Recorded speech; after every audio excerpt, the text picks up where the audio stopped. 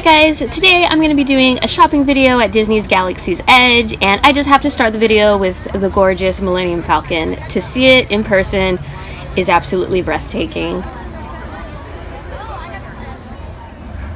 The Millennium Falcon Smuggler's Run attraction is the only uh, ride that's open right now, but it is amazing. You have a chance to be a pilot, a gunner, or an engineer, and it is super cool. First up, we're going to take a look at the shops in the marketplace, and I must say Disney did an amazing job with the theming, the detailing, the immersiveness.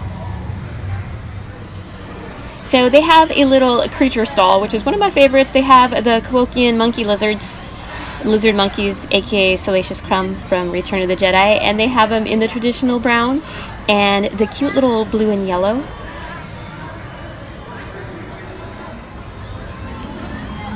Here's a look at them close up.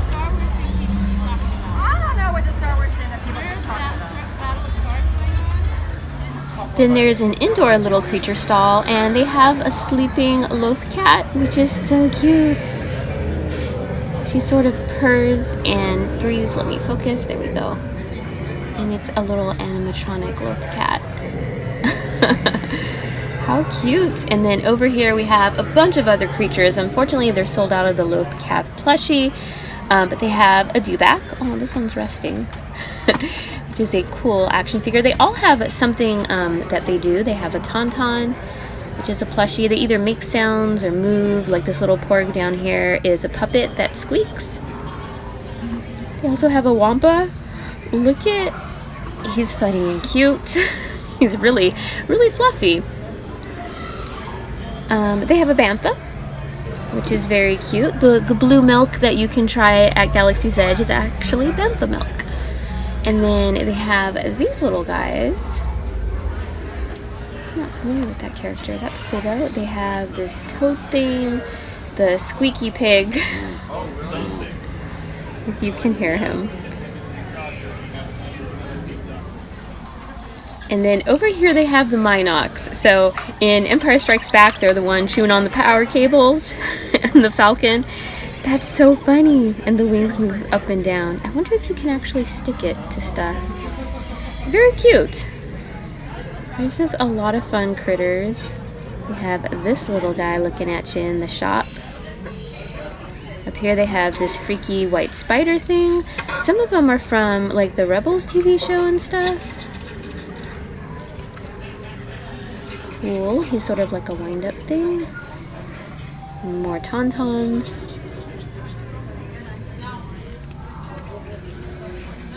More porgs. They have this thing too. I think it's from uh, Force Awakens, right? I think. And then they have the Toydarian Toy Maker shop, which I think is really cute. It has this little sign outside. And they have some awesome little mobiles because part of the immersiveness of this is that Batuu is the planet you're on, and they've heard legends of the Star Wars stories. So you have a Star Destroyer and the Millennium Falcon, and over here they have Jabba's sail barge, which looks so neat, and a sandcrawler too.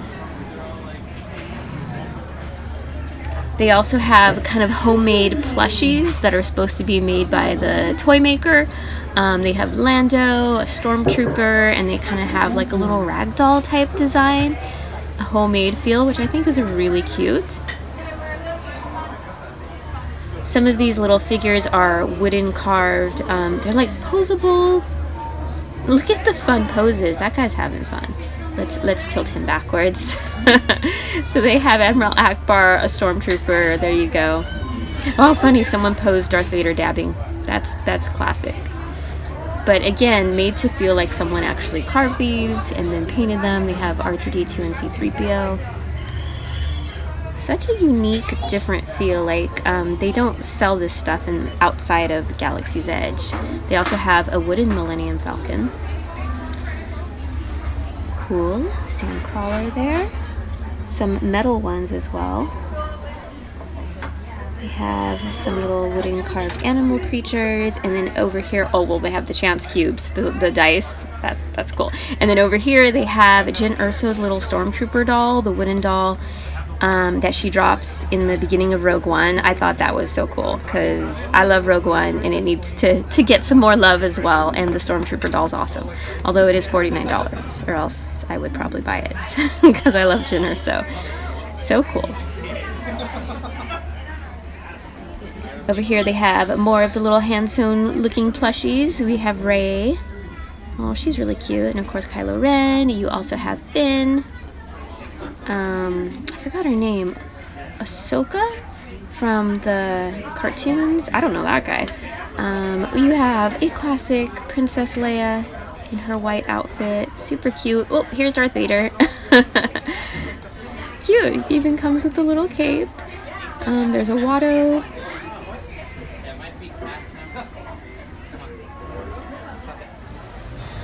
One of the quick service foods is Ronto Roasters, and you have that droid guy spinning the spit that does the meat with a pod racer engine. Onto the droid factory where you can build your own droid. So they have some really cool looking droids inside, and then to build your own droid, it costs $100, and you pull your parts from this assembly line which I've never built one, but it sounds like a really neat concept. And then you can do a personality chip. So after you select your parts, you assemble it. I love how they have a conveyor belt of parts going on above you. It's very like kinetic in here. It's awesome. And then over here, you take your droid to activate it. In the Droid Factory, they also sell a bunch of different toys. Look at this Droid Factory. it comes with a Gonk droid. Um, there's a look at what it looks like assembled, and then you can buy other little droid action figures.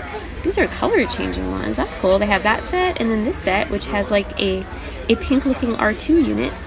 So you have the droids you can build for $100 are R2 units and then BB units. Um, and then if you don't want to build your own, you can buy pre-made ones, which I think are a little bit cheaper. Um, but those are the classic R2, D2, and BB-8 which looks really cute. They also have these little small light up ones. These aren't like remote controlled or anything, but they're they're adorable if you just want like a little figure. They have um, the the black BB one too, and then they have some other little figures. They have that little guy. And then down here they have a Gonk droid, and you can actually wind him up. Let me see if I can do this with one hand. Probably not, but there you go. He took one step. but he's so cool. He's also outside the droid factory when you exit. They also have one of the mouse droids. Those little ones that, that roll around. Next shop is Doc Ondor's Den of Antiquities. This is where you can buy kyber crystals and some other cool stuff. So above the cashier, they have this head of um, animals. There's like a tauntaun on there, and there's Dok-Ondar, if I'm pronouncing his name right. Um, he's a huge animatronic that moves around. He has various collectibles and treasures um, I don't know if he's going to stand up, but at some point he stands up and he's quite large. If you look on the back wall there, there's a Mandalorian mask from the new TV show that's coming out. I thought that's pretty cool. There's a ton of little Easter eggs in this shop. And then here's a look at some of the stuff they sell. Jedi gear set. They have special um, lightsabers. They have kid lightsabers, but you also have the legacy sabers. There's also a baby Sarlacc animatronic from, um, you know, the Sarlacc pit from Return of the Jedi, and you can see like the creature's body underneath. Yikes!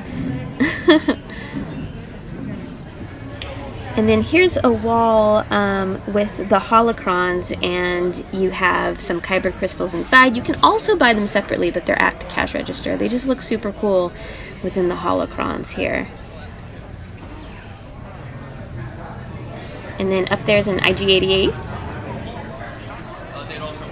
Here's another look just around the shop again, a ton to see. They have the holochess little set. Um, it's pronounced with a D. I'm not going to even try to pronounce it, but there's two different sets, and those are the little figures. Um, it was in the first Star Wars: A New Hope movie, but that's that's pretty cool. They're kind of pricey. Here's Doc standing up and speaking. So cool.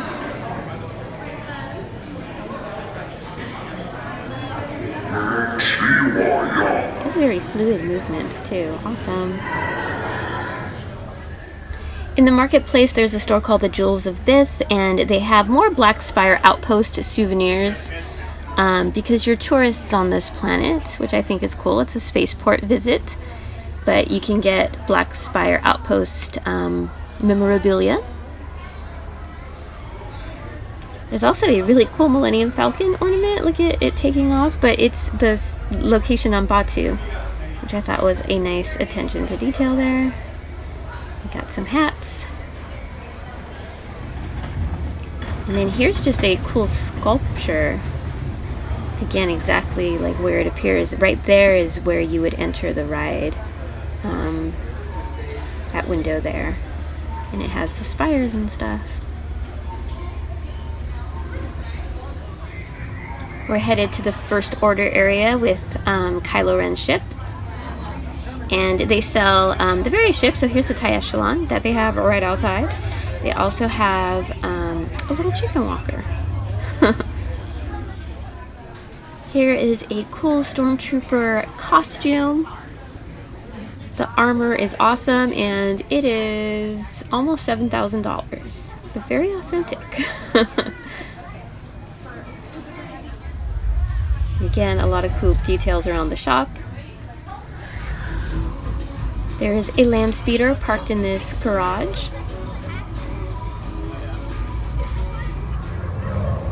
There's Chewbacca. Oh, he's fixing stuff.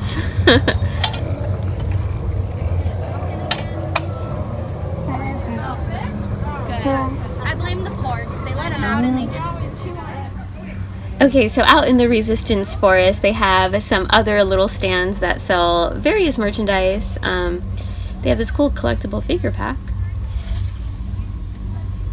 It has a bunch of different characters. There's hats and patches. You can get a lot of cosplay stuff going. They also have Chewie's like classic shoulder strap and then the satchel. Um, but I don't. I think it's called a bandolier. But that's so cool. You you can dress like Chewie. That's adorable. And then they have some more model kits. The Millennium Falcon's awesome. A Rebel jacket. So cool. That one's actually really nice. It looks very warm. Too too hot right now. And then these little fans. I think they're the moisture farm unit thingies, but they're fans to cool you down. Awesome. And then out in the Resistance Forest is this really cool X-Wing. Again, just so, so large in person. And then this area is going to be where the Rise of the Resistance um, attraction is going to be. But I want to bring you over here to where they have little thermal detonator drinks. How cool! Diet Coke, Coke, and Sprite. And then there's also an A-Wing out here in the Resistance Forest. I'm going to make a quick stop in Star Traders in Tomorrowland, and in the window here you have C-3PO and R2-D2. So one of the new Disney Park figures for Funko Pops is um, DJ Rex. He used to be the Star Tours pilot back in the day with the old version 1 Star Tours, and now he's actually in Oga's Cantina in Galaxy's Edge, which I haven't been there yet. You do need reservations for that, but that will be something fun to enjoy later, and DJ Rex is actually really cool. Where you at at? Okay, so if you don't feel like spending $100 to make your own droid, for $21.95 you can make two, um, or they're $12.95 each, and they have some R2 units and R5 units and the C3PO type ones. How cool is that? You can select your dome. This is like a mini version of the Droid Factory in Galaxy's Edge. How cool! The legs, and then you have little little hats. There's Oswald. Um, there has to be Mickey ears. There's a top hat. There's a sombrero. Ooh, there's a Sorcerer Mickey hat. Oh, this is so awesome. So definitely this is a little gem inside of Star, uh, Star Traders, which Star Tours does let you out into this gift shop. And here's a look at the Protocol droid ones. They have different heads, but they do have a a C-3PO one. Oh, how funny. Um, they have the chassis, and then you could actually give C-3PO a red arm which he had in the new movies. That's funny. And then, oh my goodness, this is so cool. They you would put your figure in this little like action figure placard piece to make it look authentic and create your own droid. It's so neat. And then Loungefly has so many awesome purses. Here's the Star Wars Loungefly mini book bag. And look at all the characters. Boba Fett's on there. All the classics. Oh, it's so adorable. And they have that chibi art style. That is pretty, pretty sweet for any Star Wars fan right there. Okay, so I am back home from filming at Disneyland, and I'm to kind of do this like I do my toy hunts. I always follow it up with a little haul, and I did pick up a creature. It comes in this cute little creature keeper. Um, and then one of the cheapest souvenirs you can find at Galaxy's Edge is this reusable tote. And how cool is that? It does say Galaxy's Edge, so it's a cool souvenir. It has the Millennium Falcon, and then it has Disneyland, and then on this side, it's big. Um, you have R2-D2, you also have the Falcon, and then Black Spire Outpost, and it says landing 2019. So it's also dated, so that's kind of a, a neat souvenir that if you went to Galaxy's Edge the, the year it opened, I think that's pretty cool. And it was like a dollar sixty-two. So yep, definitely the cheapest souvenir, um, quite possibly at Disneyland. Okay, so we'll start with some things I purchased outside of Galaxy's Edge. And me and Mr. Birdlove did make our own droids at the Star Traders shop, which I thought was just super cute. I gotta find mine. So this is the one Mr. Birdlove made.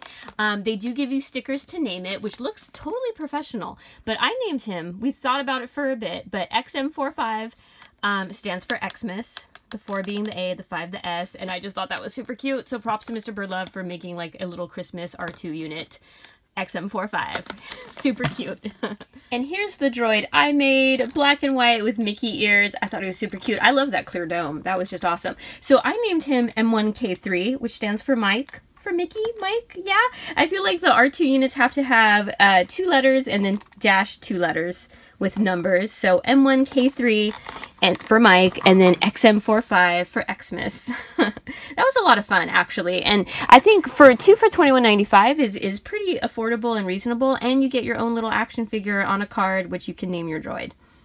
And then another cool droid, I did pick up one of the Funko Pops of DJ Rex. Um, it has the little Star Wars Landing in 2019 logo for Disney Parks. And I just thought he was really cool. I do remember him, the original one from Star Tours Volume 1, I'm going to call it. Um, and now he is in Oga's Cantina, which I can't wait to see him in person. Um, really cool. And there's some cool callbacks to the Star Tours ride in, in the cantina. So he's a really neat figure. And then in addition to the bag that you can only buy in Galaxy's Edge, I also picked up a thermal detonator, Diet Coke, which I think is so cool. Look at the neat design. Again, they had regular Coke, which was all red, um, the Sprite one, and then the Diet Coke, which kind of looks cool because it has a silver um, finish to it. It's just plastic. I'm sure you can peel that off and even repaint it if you want to make it a prop. But it's just what Leia holds in Return of the Jedi when she confronts Jabba. I thought that was really neat. And then the last thing I bought, I showed you guys the creature shop, and I absolutely fell in love with this guy, the Kowakian monkey lizard. And I got the one that looks like Salacious Crumb because he's so cute. He's the one from Jabba's palace as well. A lot of Return of the Jedi references. But he's electronic, but he's also very posable. And I think they did such a good job with his face. So it has a controller um, where he can turn his head and the eyes look so real too. He also has, and his legs move so you can dangle him off your shoulder. He has a magnetic magnetic piece that clips in like so, kind of like the baby Groots do. Um, this one's a lot more heavy duty, so you can put it like under your shirt and have him hang off your shoulder which is adorable. He's also kind of like rubbery here and on his face, and it has some really good shading and detailing. Of course, he has his tail, not to mention the little like mane and tufts of fur coming off his ears and up top. And then you can make him laugh.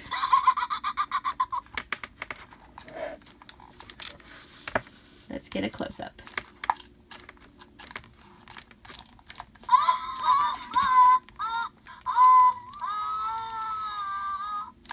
that is so funny. So you can control him like a puppet. Um,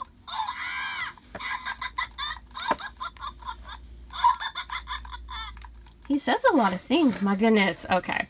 So I saw a couple people walking around with them too, and they have the yellow and blue one.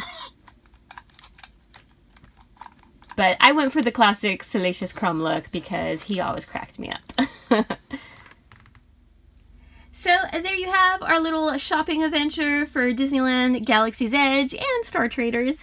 Um, I hope you liked this video. Let me know in the comment section below which was your favorite item that I either showed in the video or that I purchased, and what you think overall of Galaxy's Edge. Is it someplace you'd like to visit while you're at Disneyland?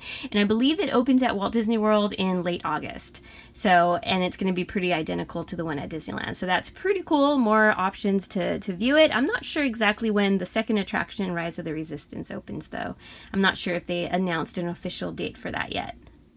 So, as always, I wanted to thank you guys so much for coming along with me and watching my video. I appreciate it, and I'll see you guys next time. Bye-bye!